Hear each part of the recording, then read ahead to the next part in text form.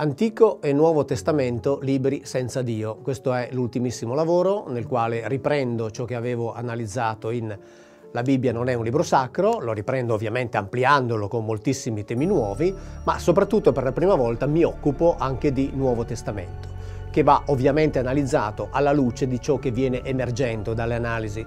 che, sto conducendo in questi anni sull'Antico Testamento. E quindi se partiamo dal presupposto o dalle ipotesi che qui dentro ci sia, che nella Bibbia sia Antico che Nuovo Testamento, ci sia un Dio inventato, allora la finalità è una, dare la possibilità ai veri cercatori di Dio, cioè non a quelli che hanno bisogno di una verità qualunque, ma ai veri cercatori di Dio, la possibilità di trovare il Dio vero liberandosi definitivamente dall'idea di un Dio che è stato falsamente costruito a partire da testi che di Dio non parlano.